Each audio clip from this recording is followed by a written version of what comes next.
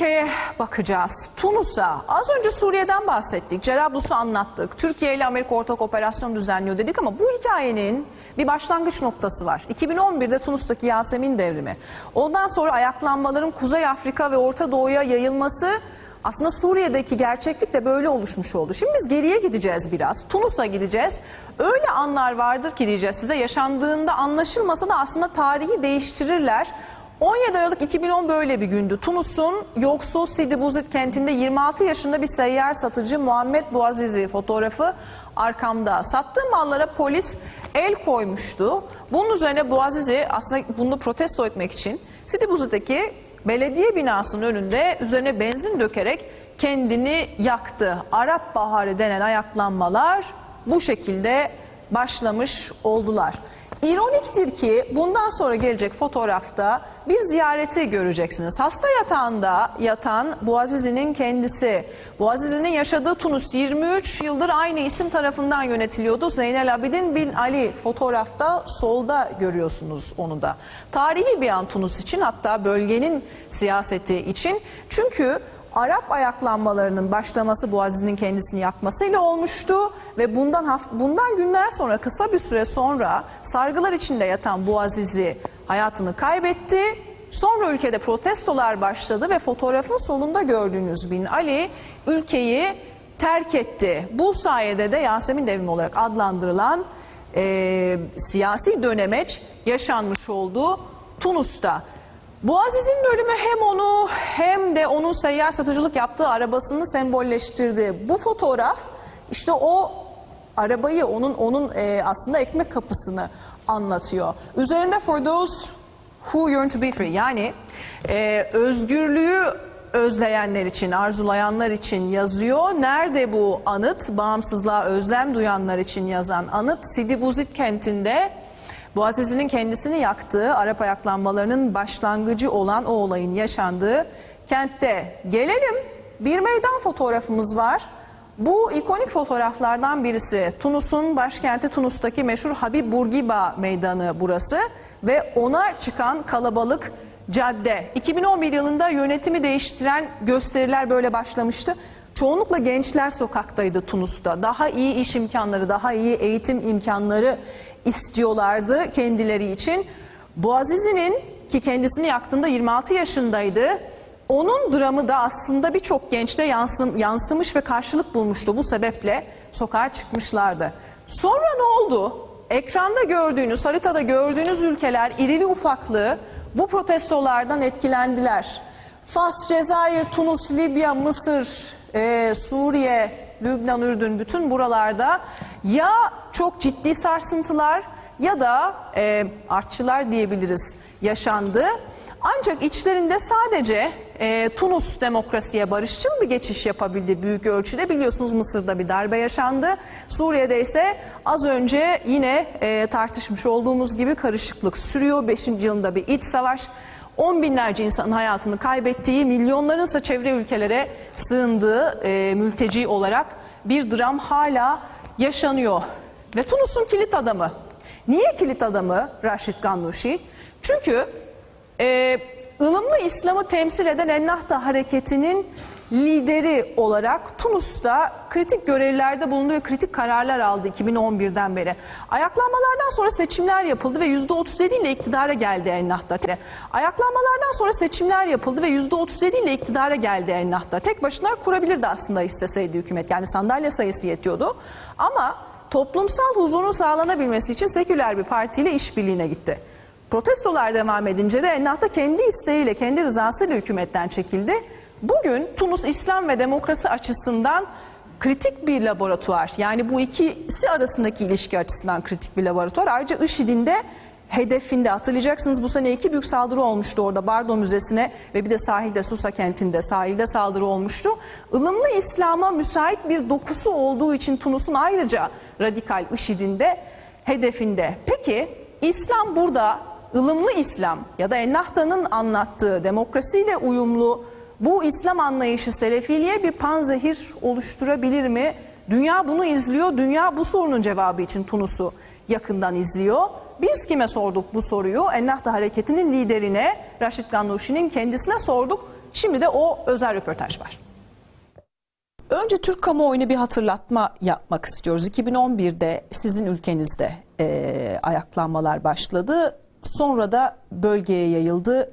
Mısır'da e, bir darbeyle sonuçlandı. Suriye'de devam eden bir iç savaş var. Libya'da karışıklık var ama Tunus e, en azından stabil bir yol izliyor şu anda. Barışçıl bir demokrasiye geçiş yaşadı. Neler değişti 2011'den beri sizin ülkenizde? Siz o süreci nasıl yorumluyorsunuz? Bismillah ve salatu ve selamu ala Resulullah.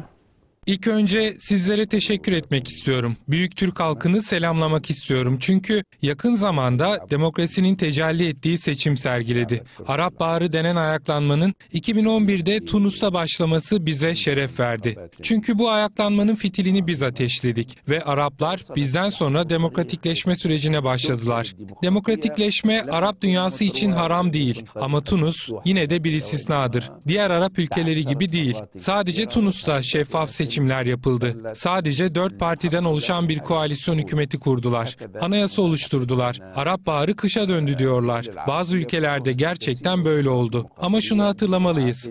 Demokratikleşme süreci kısa bir süreç değil. Mesela Fransız devrimine bakın, Türkiye'ye bakın. Nice lider öldürüldü, idam edildi. Ama sonuç itibariyle son seçimlerde demokrasinin tecelli ettiği bir seçim olduğunu görüyoruz. Bu o sürecin bir meyvesi. ولا عودة إلى الماضي 2015 Barış Nobel Barış Ödülü de sizin ülkenize gitti. Buradaki demokrasi çalışmaları ile ilgili olarak.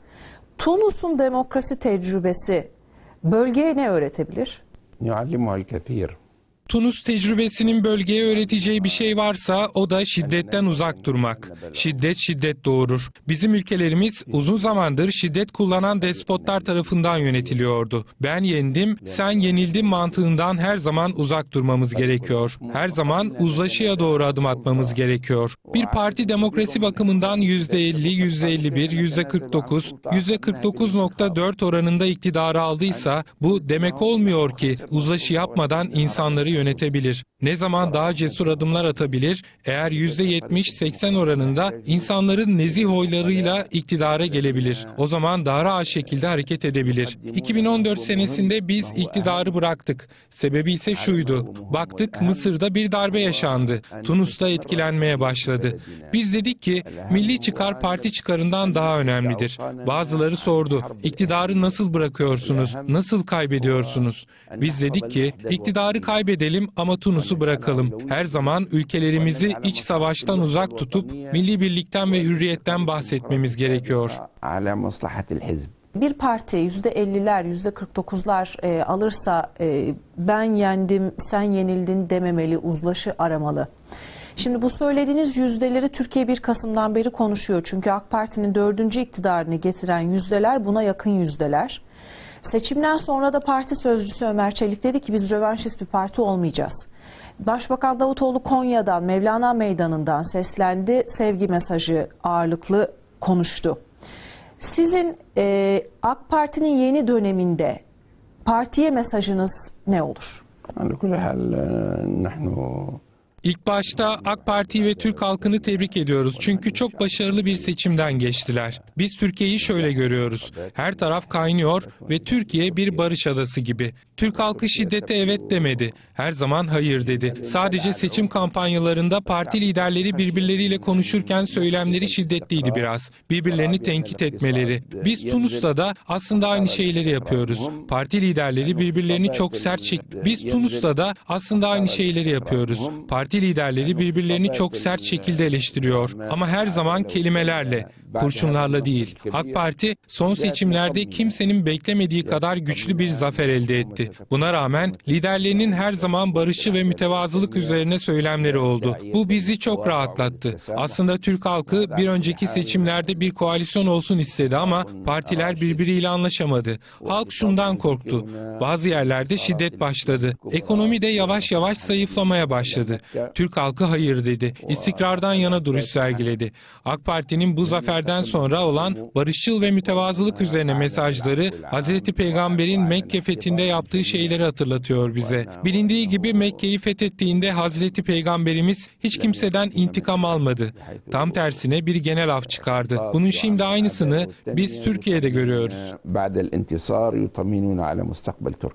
Türkiye hem Ankara'da hem Suruç'ta büyük acılar yaşadı e, IŞİD'e yönelik operasyonlar Türkiye'de devam ediyor. Sizin ülkenizde Tunus'ta da iki büyük saldırısı oldu IŞİD'in. E, Bardo Müzesi'ne ve sonra da Susa kentinde sahilde bir saldırı e, yapıldı ve IŞİD üstlendi. E, IŞİD neden Tunus'u hedef alıyor ve e, Tunus IŞİD'le mücadelede ne yapıyor?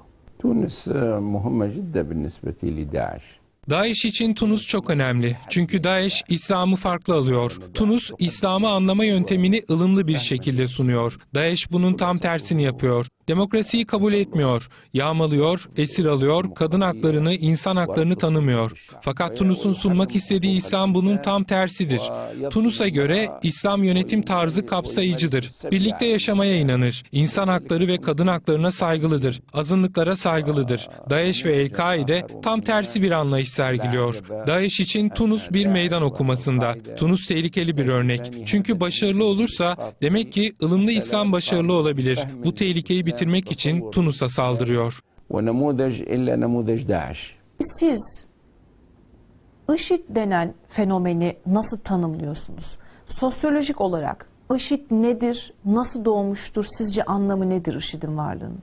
داعش منتوج Daesh hassa bir realitenin hassa bir ürünü. Saddam, Kaddafi, Mübarek, Bin Ali gibi despotların uyguladığı şiddetin karşı bir şiddeti. Fizikte bir kural var. Her etkinin bir tepkisi olur. Saddam'la birlikte çalışanların bir kısmı Daesh'i desteklemektedir. O zaman bir zorbalık vardı. Sonra da mezhepçilik devleti kuruldu. Ve Sünnilere karşı zulüm ve baskı uygulandı. Suriye'de de aynı şeyi görebiliyoruz. Tunus'ta uyguladığımız demokratik İslam dediğimiz yönteme herkes evet diyor Hareket alanı bırakıyor. Dernek mi kurmak istiyorsun? Gazete mi yayınlamak istiyorsun? Yapabilirsin. Şiddete başvurmanın hiçbir gereği yok. DAEŞ'e göre böyle bir projenin başarısız olması gerekiyor. O yüzden saldırıyor. وهو والعنف في كل الأحوال لا ينتج إلا العنف Siyasal İslam ne demek Ennahda hareketinin liderine göre?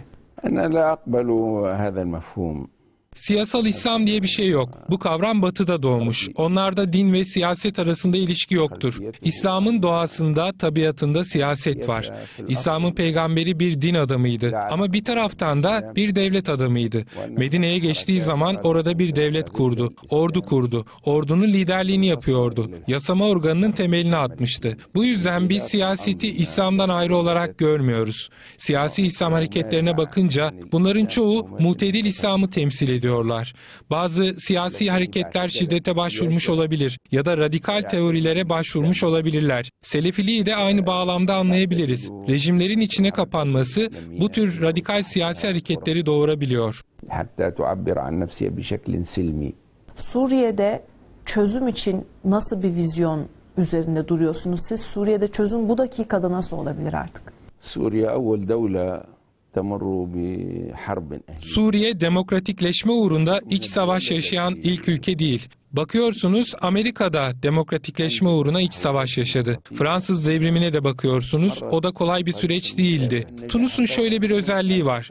Demografik yapısı birbirine çok uyumlu. Aynı dine mensubuz, aynı etnisiteye mensubuz, aynı dili kullanıyoruz. Ordumuz ve askerimiz siyasete karışmıyor. Bunun bir sonucu olarak bizim demokratikleşme sürecimiz çok daha yumuşak geçiyor. Halbuki bakıyorsunuz Suriye'de olsun, Irak'ta olsun çok farklı mezheplere mensup insanlar var. Demografik yapı, etnisite, din, dil bakımından farklı aidiyetler olduğu için farklı bir durum yaşandı. İç savaş yaşandı.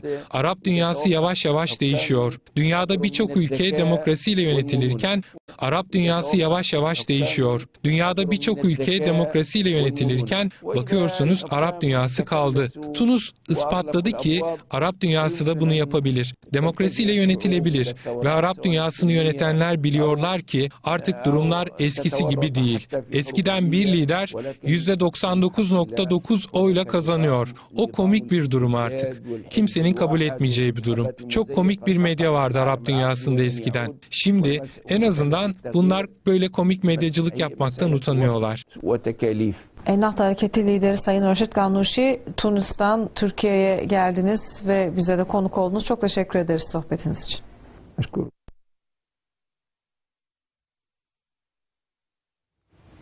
Bir aramız var şimdi.